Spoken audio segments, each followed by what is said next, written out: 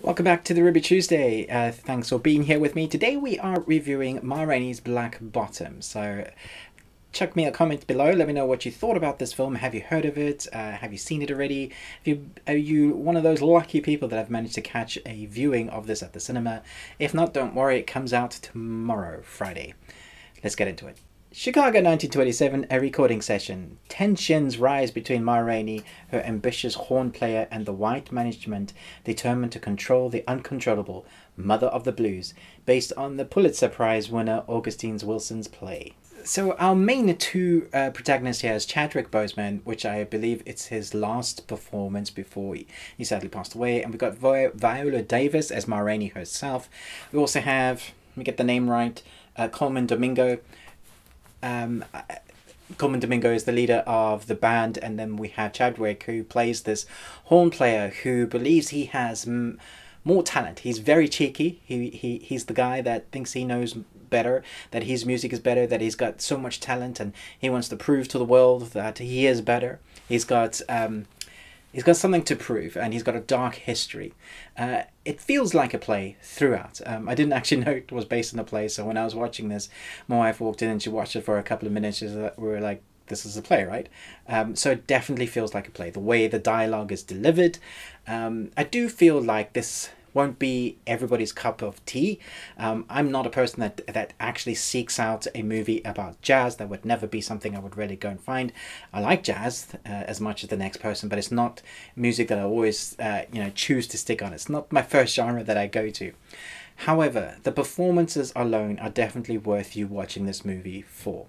Uh, I, I don't know if it's Chadwick's best performance, but it may be. I think his performance in this is excellent, very flamboyant, very naughty, very um, in depth, very emotional. He has an amazing range of uh, emotions he needs to play and the characteristics that he needs to play with this character um, has gone through so much. So, for the most part, you see him um, messing about with the ladies, you see him uh, messing about with the jazz team, you see the talent he has, his writing music, and then you see his character change when he has to tell a story about his past. And for me, that is when the film took a change.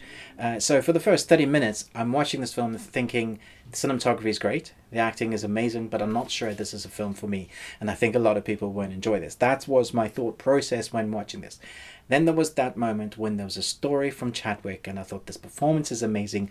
I'm now invested in the characters, and from there on, I was invested what was with what was happening. So obviously got a story to tell. It's obviously um, very relevant for today. You know, we're talking about color again, about how um, African American people have been treated, um, and it's still that's very very real for now.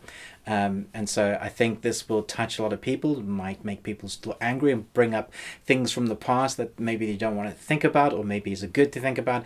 Have all those things going on in your mind, uh, which I think is good. But it doesn't lose track from its jazz. Um, it's in the 1927, so you can understand what that means. Um, and then you see the talent. There are moments in this that really stood out to me as well. When you see them messing about with their instruments, all believable, by the way. Um, and you see them starting to put together a piece. They're just kind of, you know, just kind of jamming, uh, like if they're on the bass, they're just jamming, and then a piece will come out of that, or there will be a, a monologue, a dumping of exposition that wouldn't work if it's a normal film, but because it's this type of play film, it really works, uh, and that's like the exception to the rule. Um, and so they'll just start dumping exposition in amongst the music and create a wonderful piece, and that's kind of transports you. So for the most part, in this in this film, although you are there with the characters, the characters transport you to another place where you get to experience or think about or imagine what has happened to them, the, story they are telling, or the experience that they're telling. Ma Rainey's character is excellent. Viola Davis is brilliant. Um, I often forgot that it was Viola Davis, so that gives you an idea of like you have to you have to squint. Wait, is that really Viola? So from the the makeup and the costuming to her performance, she really takes on this persona of Ma Rainey, and uh, she's larger than life. She knows what she wants.